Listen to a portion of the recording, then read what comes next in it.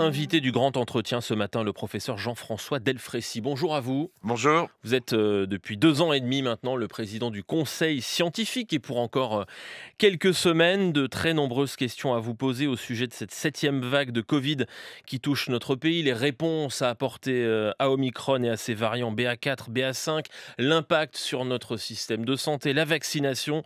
Les auditeurs de France Inter vous interpellent au 01 45 24 7000 et via les réseaux sociaux sur franceinter.fr. Jean-François Delfrécy, les derniers chiffres de Santé publique France indiquent 160 000 cas de contamination au, Covid euh, en, 24 heures, plus 20% sur une semaine. Est-ce qu'on a maintenant atteint le pic de cette septième vague?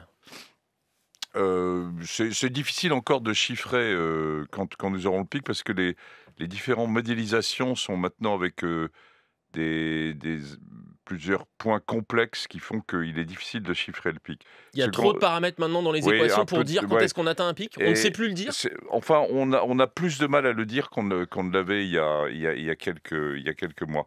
Par contre, on a toujours des outils qui permettent de mieux chiffrer l'impact euh, qu'a euh, une vague mmh sur le système de soins. Et c'est finalement ça qui est, qui est le plus important.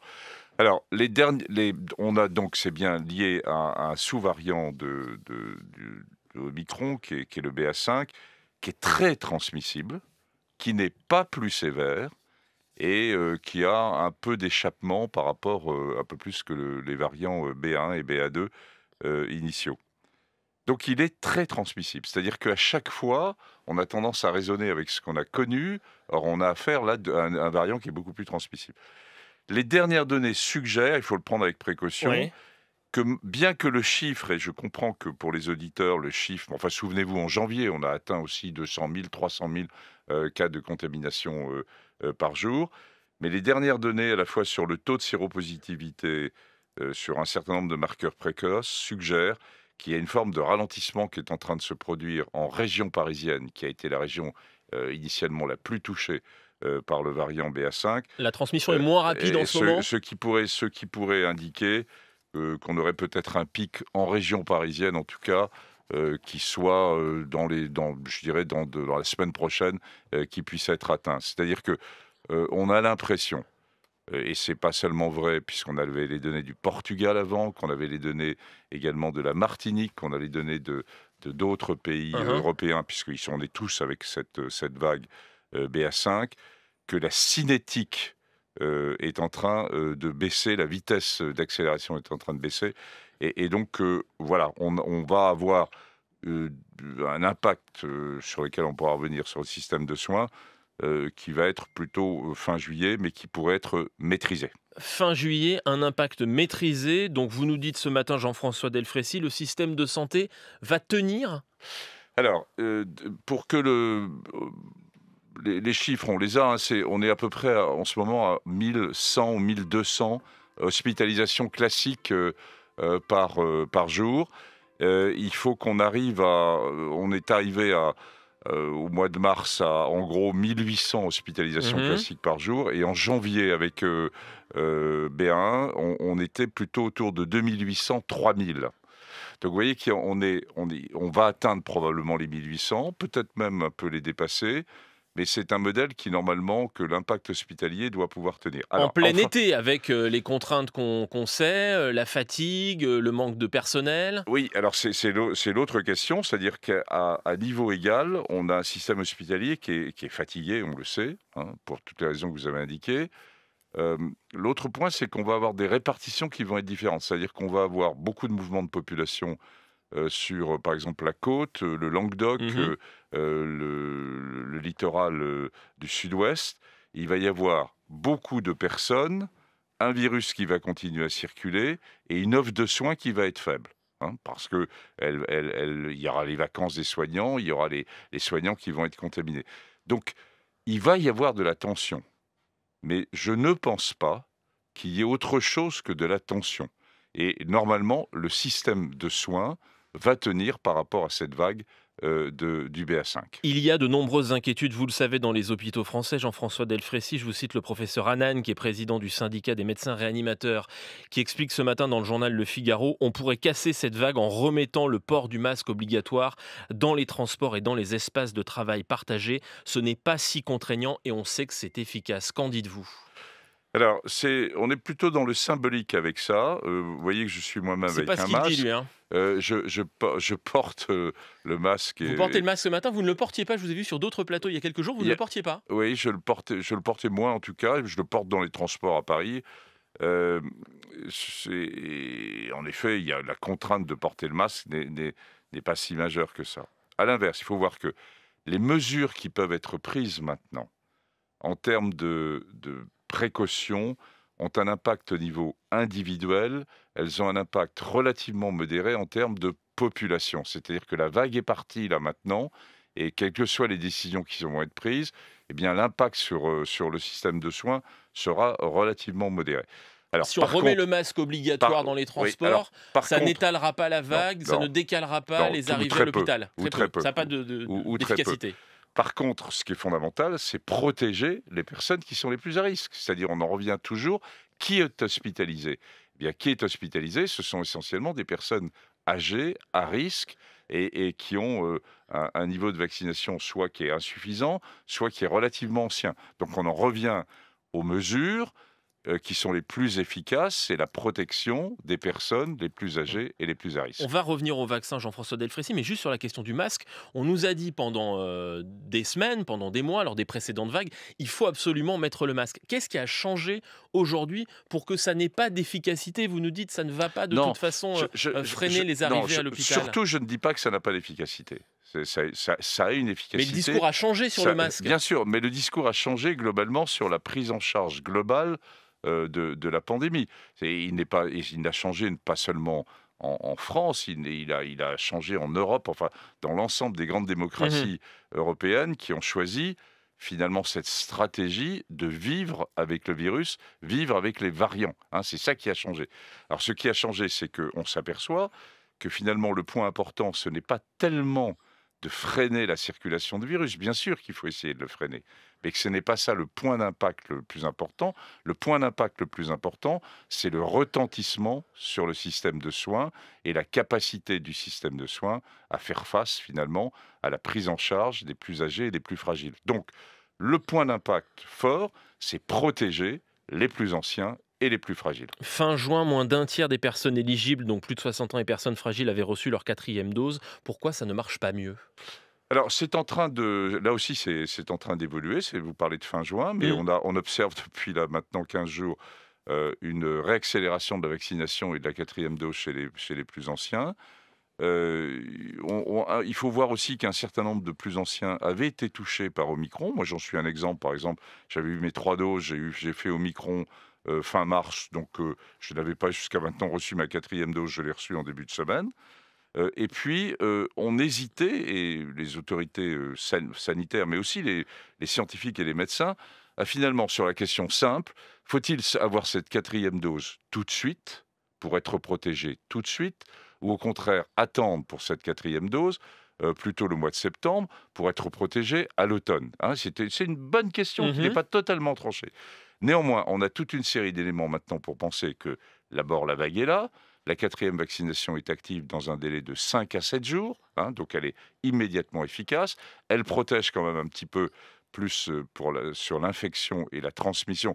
Et surtout, elle protège euh, de façon très, très claire, et il faut, Hein. c'est massif, euh, contre la survenue de formes sévères et formes graves. Est-ce qu'il fallait Donc- lancer cette campagne plus tôt, cette campagne de, de- de vaccination? Je, euh, écoutez, on peut toujours euh, voilà, avoir des regrets. Peut-être qu'on aurait pu la démarrer plus tôt. Et compte tenu de l'hésitation qu'on avait sur quand faut-il avoir la quatrième dose. Parce que de l'autre côté, vous ne me reposez pas la question, mais en me disant, mais est-ce que ces doses, finalement, ne, ne finissent pas par être délétères? Est-ce qu'il n'y a pas un effet euh, d'habitude par rapport aux doses vaccinales? Je vous réponds, la réponse est non.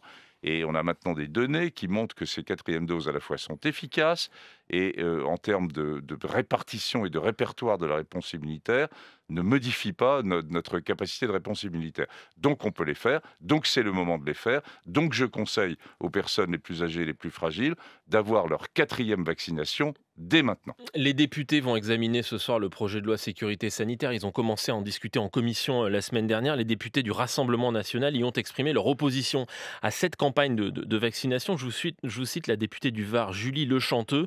La vaccination n'empêche pas la contamination. Alors pourquoi lancer une campagne pour la quatrième dose alors que le vaccin ne fonctionne pas et surtout n'est pas adapté aux nouveaux variants Fin de citation. Qu'en dit le président du Conseil scientifique? Euh, écoutez, il répond que c'est une prise de position politique qui n'est pas une prise de position qui s'appuie sur la science. Donc c'est faux. Euh, donc c'est faux.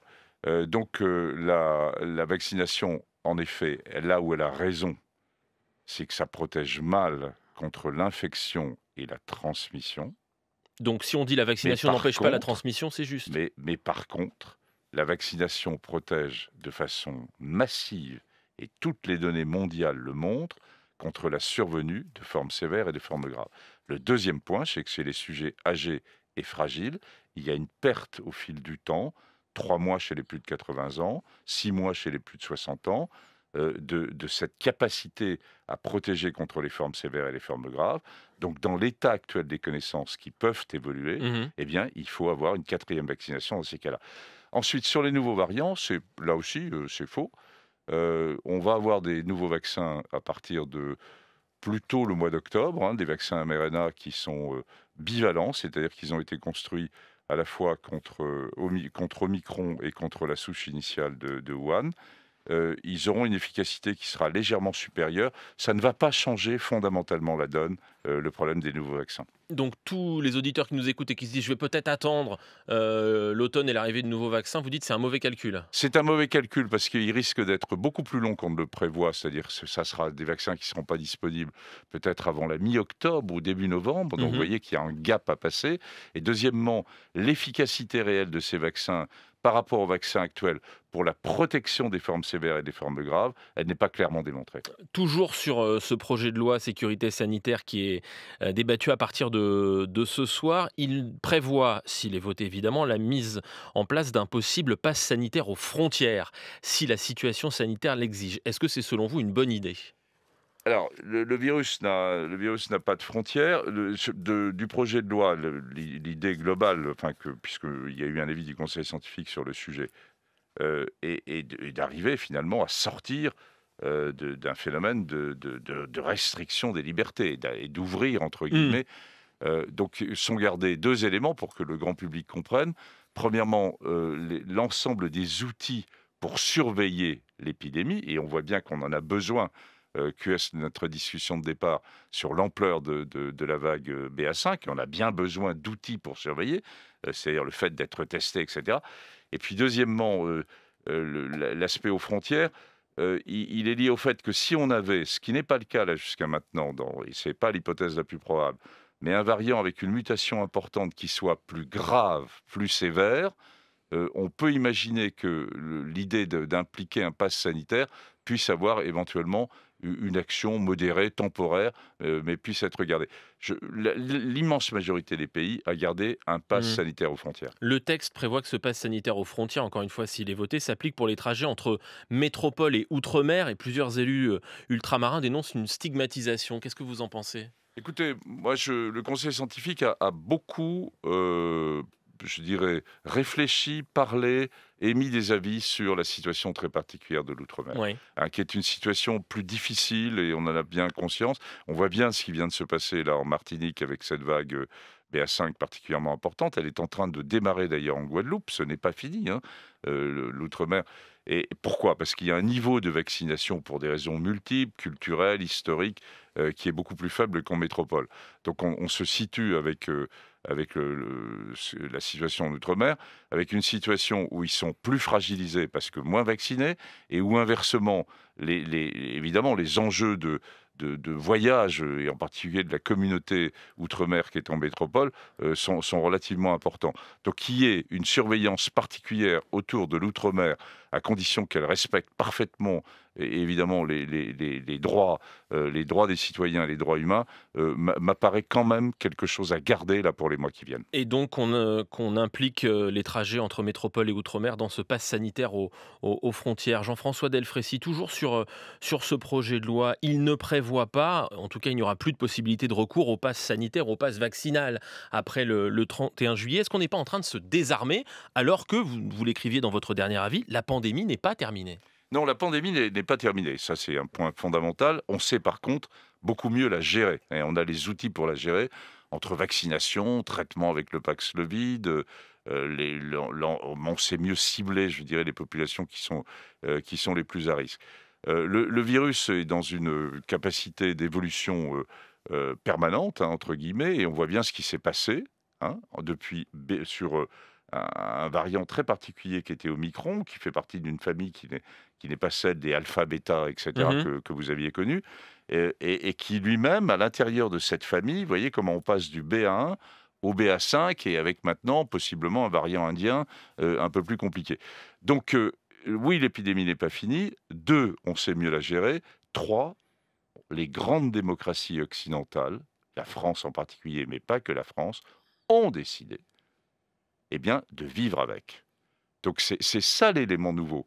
Donc de vivre avec parce que nous sommes vaccinés et que euh, l'impact sur le système de soins en raison de la diminution des formes sévères et des formes graves est évidemment plus limité. BA4 et BA5 plus contagieux mais moins dangereux que les variants euh, précédents, Jean-François Delfrécy. Est-ce que ça veut dire que tous les prochains variants seront de ce type-là et qu'on aura euh, à peu près cette même, euh, cette même physionomie, c'est-à-dire qu'on est à l'abri maintenant d'un variant qui serait beaucoup plus mortel que ceux qu'on a connus? Non, on n'est pas à l'abri, malheureusement. Hein, je préfère vous dire l'inverse. le, ce virus va continuer à muter. L'hypothèse la plus probable, c'est que il, aille vers des mutations au sein de Micron euh, de, plus en plus transmissibles, parce qu'il faut qu'il mmh soit gagnant pour prendre sur le variant précédent, donc qu'il ait un gain, donc qu'il soit plus transmissible. Euh, mais il peut survenir, et on le sait maintenant, des recombinaisons entre les familles de variants, et en particulier des recombinaisons entre euh, eh bien, un variant très transmissible de la famille Omicron et un variant plus sévère de la famille euh, des, lettres grecques de l'alphabet. Mmh. On pensait que ce n'était pas possible et on sait maintenant que c'est possible.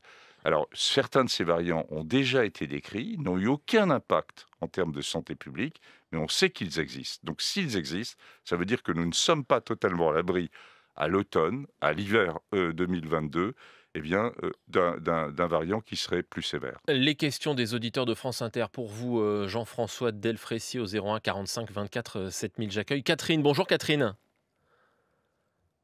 Oui, bonjour. Bonjour, vous nous appelez de Paris. Bonjour professeur. Bonjour madame. Bonjour. Je, je, voudrais vous poser une question délicate. J'ai eu le Covid moi-même en novembre 2021 et je me, je me sers de ma, de ma tête. En général, euh, je suis assez contente, bon, pas trop de soucis.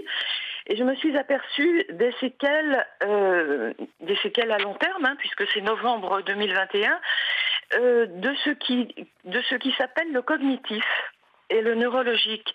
Difficulté de concentration, euh, difficulté de terminer quelque chose, difficulté de réflexion aussi, et difficulté des humeurs. Hein. Or, je suis une bonne nature, je ne suis généralement pas triste, et je voulais savoir pourquoi pourquoi on en parle si peu de ces séquelles-là et de ces atteintes-là. Alors je me suis renseignée un petit peu sur Internet, je me suis aperçue que effectivement le virus ne s'arrêtait pas au nez, il montait un petit peu plus haut. Hmm. On n'en parle pas souvent. Or, il y a des gens qui, qui, ont fait des petits états dépressifs passagers et qui pensent que c'est par rapport à leur vie. Or, c'est pas forcément par rapport à leur vie, hmm. c'est justement par rapport aux séquelles possibles du Covid. Jean-François Jean Delfrécy vous répond, Catherine.